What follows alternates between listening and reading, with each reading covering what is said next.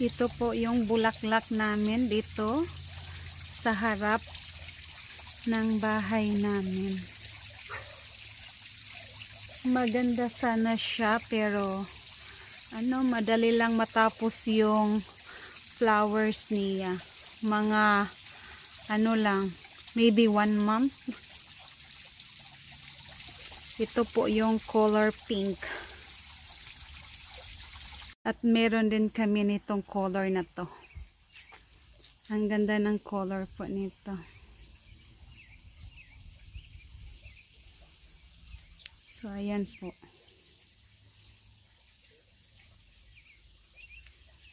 Mga one month lang po siya.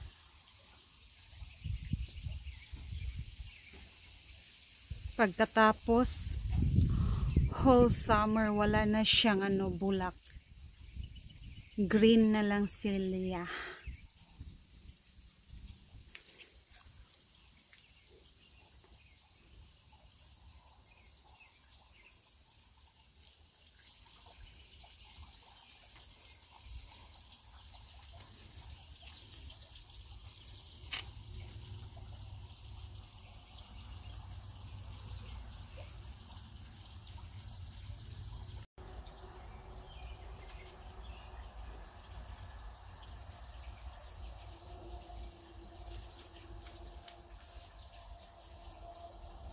ito mga ilang days.